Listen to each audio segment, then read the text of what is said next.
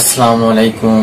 আশা করি সকলে ভালো আছেন। আমি আপনাদের সঙ্গে আলোচনা করব ইমসোমনিয়া বা অনিদ্রা নিয়ে। তার আগে আলোচনা করে নিই ঘুম এবং অনিদ্রা, কাকে বলে? ঘুম, দেহ মনের এমন একটি প্রশান্তিকর অবস্থা যার প্রভাবে প্রতি রাতে বেশ কয়েক ঘণ্টা ধরে আমাদের স্নায়ুতন্ত্র নিষ্ক্রিয় থাকে, চোখ বন্ধ থাকে পেশি সময় শিথিল থাকে এবং সচেতনতা স্থগিত হয়। এই স্বাভাবিক ক্রিয়া যখনই ব্যাহত হয়, তখনই অনিদ্রা সৃষ্টি হয়।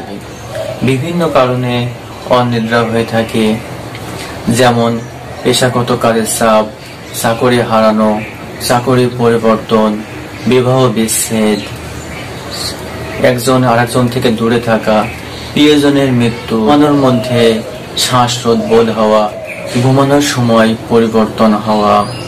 শয়ন কক্ষে কৃত্রিম আলোর ব্যবহার বিছানা যাওয়ার পর অস্থিরতা অনুভব, দুশ্চিন্তা, উচ্চ রক্তচাপ, হাইপারথাইরয়েডিজম, শ্বাসকষ্ট, বাত ব্যথা, অ্যালার্জি, নিকোটিন, ক্যাফিন, অ্যালকোহলের ব্যবহার এবং বিভিন্ন ওষুধের পার্শ্ব প্রতিক্রিয়ার কারণে অনিদ্রা হয়ে থাকে। হোমিওপ্যাথিতে অনিদ্রার অনেক ওষুধ রয়েছে।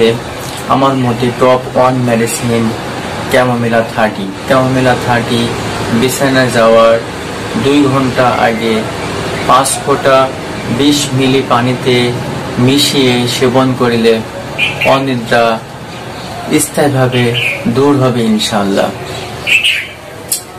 আপনি যদি মনে করেন, ওষুধ খাবেন না, তবে আপনি প্রতি রাতে বিছানা যাওয়ার এক ঘণ্টা আগে একটি করে পাকা কলা খাবেন। কারণ কলাতে রয়েছে প্রচুর পরিমাণ ম্যাগনেশিয়াম, পটাশিয়াম এবং টিপ্টোফান এই টিপ্টোফান আমাদের ঘুম পাড়ানো হরমোন, মেলাটোনিন বৃদ্ধি করে দেয়, যার ফলে আমরা কলা থেকে সুন্দর ঘুম পেতে পারি। অনুরূপভাবে বিছানা যাওয়ার এক ঘণ্টা আগে এক গ্লাস করে হালকা গরম দুধ পান করতে পারি।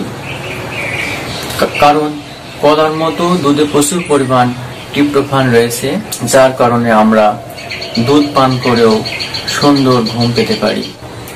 যদিও অনিদ্রার সম্পর্কে আরও কোনো কিছু জানার থাকে, অবশ্যই আমাকে কমেন্ট করবেন। আমি উত্তর দেওয়ার চেষ্টা করব। ভালো থাকুন।